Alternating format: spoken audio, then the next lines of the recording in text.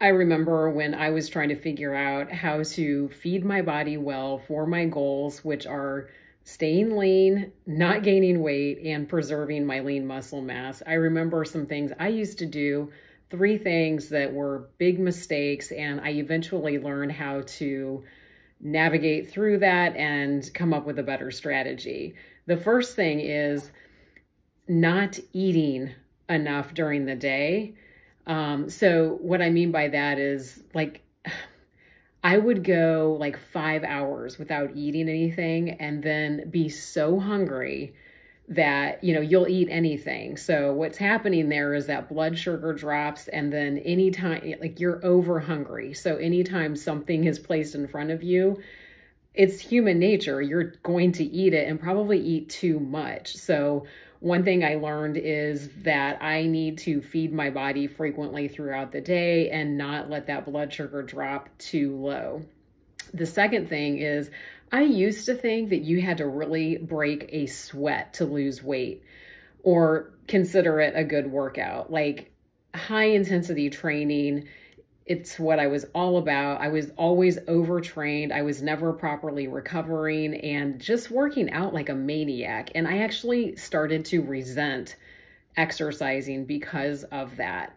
And it's really not true, guys. If your goal is weight loss, you actually can just do casual exercise like going for a nice walks or a nice bike ride or just a casual swim without even breaking a sweat as long as your nutrition is dialed in and you are on a slight calorie deficit consistently. That is the key. The third thing that I had to really work through was nighttime snacking, especially in the wintertime when the days are a little bit shorter. So I kind of learned about myself that if I spend less time on my couch at night, I am less likely to snack all night.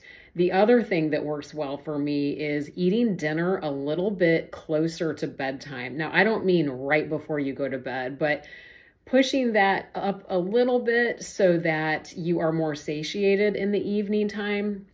And I would highly recommend that for dinner, you go for volume. So that means using foods that are high volume, high nutrient density, but lower in calories. So lean proteins, a big salad, you know, you can really fill your plate if you use lean proteins and uh, just have a big salad and watch the condiments, you know, be reasonable with that. But those are three things that I really had to learn for myself. Um, number one, eating frequently throughout the day. Number two, you do not have to exercise like a maniac to manage being lean or losing weight as long as you're watching your caloric level and you have a consistent calorie deficit if your goal is weight loss.